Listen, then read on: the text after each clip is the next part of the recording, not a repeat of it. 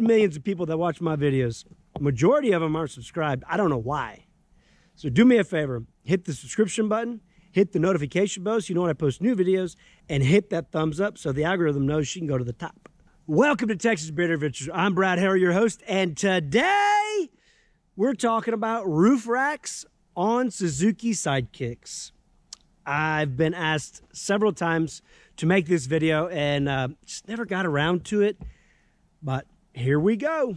So this is my 1995 Suzuki Sidekick JX. And I have been building this rig. It's a my quote unquote uh, hunting vehicle, bug out vehicle, ranch vehicle, besides the uh, OBS over there. And oh, there's a Suzuki Samurai right over there. That's my father's. I've been building this rig for probably five or six years now a little bit at a time. I'll, I'll, I'll have a trip coming up and uh, do a bunch of stuff, and then I'll stop and you know get on something else or whatever, and then I'll just I'll do stuff in phases. And um, one of the things that I did first was I built this rack. It's inch and a half square tubing with some expanded metal on top. Um, I was able to attach that to the roof so you have this weather stripping right here, okay? You pull that weather stripping up and there is a lip right here on top. And I took some three quarter inch square, um, sorry, some three quarter inch angle iron and the roof has got a curve on it, okay, just slightly. So what I did was I took that, that angle iron right there and I cut a notch in the middle. So that way in the middle right here, it would kind of match the curvature of the roof. So took that, I screwed it, I took self-tappers and I screwed a couple spots, I think two or three, lifted the, the weather stripping up and screwed that to this.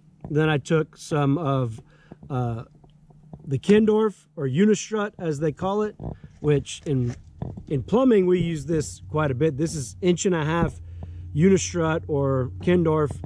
Took that, I bolted it. You see that bolt right there, bolted it to there. And then I have this rack up here. I made this rack and I took some three quarter inch pipe and I think you can barely see it right, right there. That is a Unistrut clamp, three quarter Unistrut clamp. I took that and I, I bolted this or clamped this uh, piece of pipe down to it.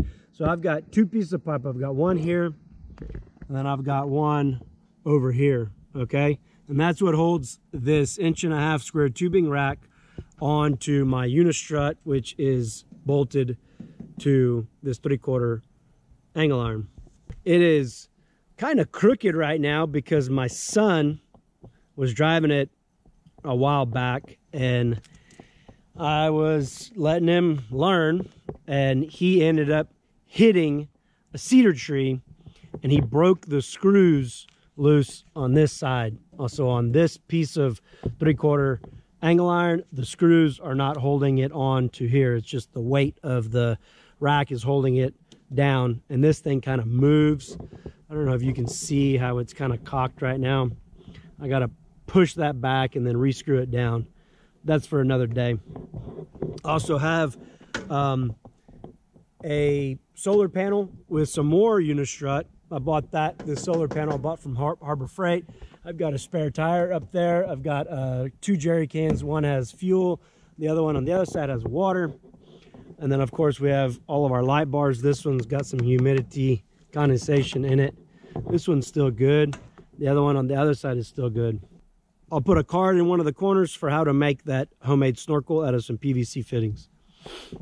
Also made, this is a hand watering deal that I made out of some more PVC fittings.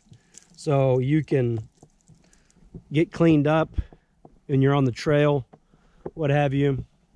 Uh, I added a shovel on there with some clamps and I've got my high lift jack right here. The, the way that we built this, uh, it just kind of came together. Um, I had some material at the house, and I was like, you know, maybe we could figure this out. Me and Doug did it one day, and um, I started off with this and this, and then I just had that, okay, which is the inch and a half square tubing on the bottom. Uh, and that was all bolted down. I did not have this top rack, which that is like a 7 8 unistrut. And I built that with my jerry can holders over there. And uh, I just been adding to it little by little.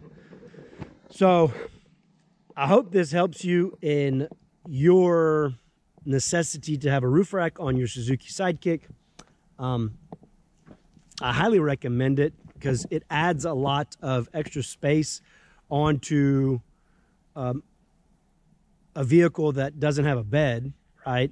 So you you're very limited on space.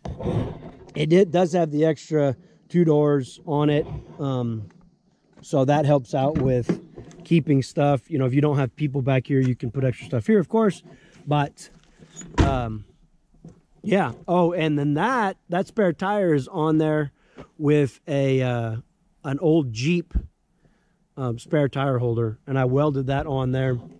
You're definitely going to need to know how to weld. Hopefully, you do know how to weld, and there should be a piece of cake for you because it's not that complicated. I also did that that cut right here on that unistrut. I did a cut very similar. So, because like I said, the roof is curved. Kind of a pain to get that curve to match if you don't have that cut in there. Actually, the, the it won't match, so you have to put it in. All right, so this is it from the top. So I've got my water jerry can, my fuel jerry can there. There is, you see how crooked that light bar is? That was from when he hit it. And those came loose and that wiggled that way. But anyway, it's got this, uh, got the, the solar panel there. It's pretty sturdy, you know, and it, I've never, never had any problems with it besides when my son hit the cedar tree. Never had any problems with it uh, wiggling loose or, or anything coming coming loose driving down the trail or anything. So been really sturdy uh, as far as that goes. Leave a comment down below if you have any questions on my build, on the rack, or even just anything else that I've done to it. Also have a lift kit video that I'll put a link down below in the description. Leave a comment if you have a suggestion on what I could do to this to make it better that I haven't thought about. Because, you know, I mean, I'm a pretty smart guy, but I, I can't think of everything. I hope you enjoyed this episode of Texas Beard Adventures. Do me a favor, if you're new to my channel, consider subscribing and hit the notification bell so you know when I post new videos. Check me out on Instagram at Texas Beard Adventures. Me and the wife, of the kitties, do all kinds of crazy stuff over there. And I'll catch you on the flip side. You dang hillbillies! Mother trucker, Black and Decker, Mississippi River.